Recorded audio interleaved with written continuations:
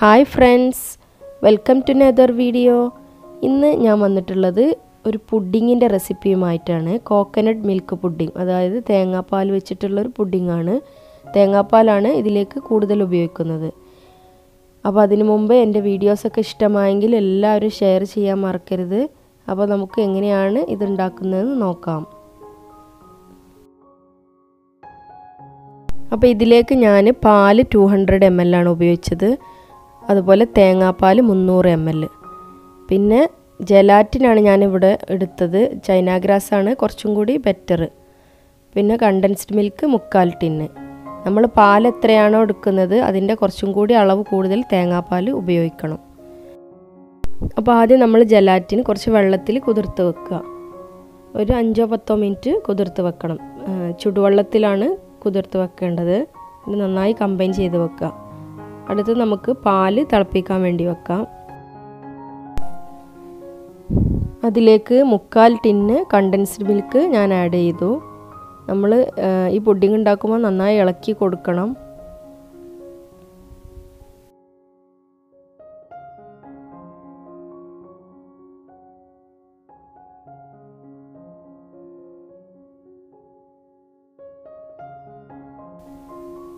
Condensed മിൽക്കൊക്കെ അതിലേക്ക് combine ആയി കഴിഞ്ഞാൽ നമ്മൾ ജലാറ്റിൻ ആഡ് ചെയ്യാം. ചൈന ഗ്രാസ് ആണ് ഉപയോഗിക്കുന്നതെങ്കിൽ വേറൊരു അടുപ്പത്ത് വെച്ചിട്ട് ചൈന ഗ്രാസ് കുറച്ച് വെള്ളത്തിൽ അലിയിപ്പിച്ചെടുത്തതിന് ശേഷം ഈ പാലിന്റെ മിക്സിലേക്ക് ആഡ് ചെയ്ത് കൊടുക്കുക. അടുത്ത് നമ്മൾ തേങ്ങാപ്പാൽ ആഡ് ചെയ്തു. തേങ്ങാപ്പാൽ ആഡ് ചെയ്തതിന് ശേഷം കണ്ടിന്യൂസിൽ ഇളക്കി കൊടുക്കണം. അതൊരിക്കലും തിളക്കാൻ പാടില്ല. തിളച്ചു പോയാൽ ചിലപ്പോൾ പിരിയാൻ സാധ്യതയുണ്ട്. അതുകൊണ്ട് കണ്ടിന്യൂസ്ലി നമ്മൾ ഇളക്കി കൊടുക്കണം.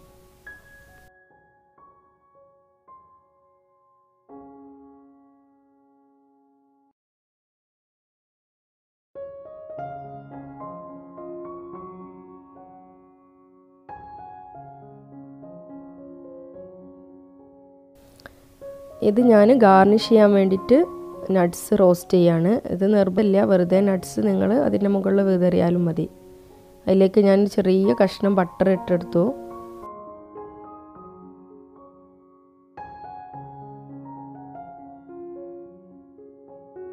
പിന്നെ ഒരു മൂന്ന് ടീസ്പൂണ് ഷുഗറും ആഡ് ചെയ്തു. ഒരു ടേസ്റ്റിന് വേണ്ടിയിട്ടാണ് ഇതൊക്കെ ഞാൻ ചെയ്യുന്നത്. നിങ്ങൾക്ക് ഇതൊക്കെ ഒഴിവാക്കിയിട്ട് വെറുതെ നട്ട്സ് അതിന്റെ മുകളിൽ വിതറിയാലും മതി. ഇത് ഞാൻ എന്നിട്ട് മിക്സിയിലൊന്ന് പൊടിച്ചെടുത്തിട്ടാണ് ഗാർണിഷ് ചെയ്യുന്നത്. അപ്പോൾ നമ്മളുടെ പുഡിങ് റെഡി ആയിട്ടുണ്ട്. നമുക്ക് പുഡിങ് ട്രേയിലേക്ക് ഒഴിക്കാം.